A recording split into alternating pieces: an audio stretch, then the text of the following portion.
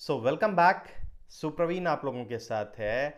अगर कल आपका आरआरबी का इंटरव्यू और S P I P O pre का अगर आपका एग्ज़ाम है तो इन दोनों में से कोई एक अगर आपको चूज़ करना है तो वो आप कौन सा करोगे?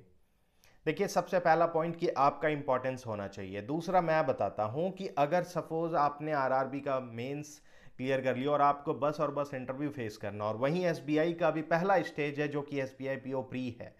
ठीक है? तो आप उस एग्ज़ाम को चूज़ करो जहाँ पर आपने लगभग दो स्टेप क्लियर कर लिया है। तो आप क्या करो, यहाँ पर आरआरबी का इंटरव्यू फेस करो और इंटरव्यू का मैंने आज ही आप लोगों को वीडियो प्रोवाइड किया है कि कैसे उसे फेस करना है ताकि आप ऑलमोस्ट 80 परसेंट अपना स्कोर कर पाओ मार्क्स ठीक है? अगर आपने आरआरबी का इंटरव्यू फेस किया और क्लियर होता है तो मतलब आपका जॉब डन है। अब दूसरी बात कि अगर आपने S P I P O pre attempt करना है तो फिर नो डाउट देखिए S B I P O pre का एक अलग अपना इमेज है। एस बी आई का अलग रेपुटेशन है।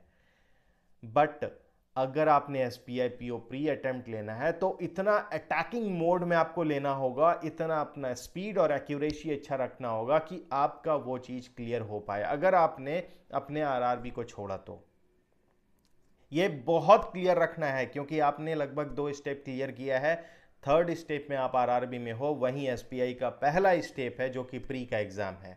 So you have to choose जहाँ पर आप बहुत ज़्यादा कॉन्फिडेंट फील कर रहे हो कि ये चीज़ मेरा हो जाएगा। बस उस चीज़ को चूज़ करते हुए आगे बढ़ना है।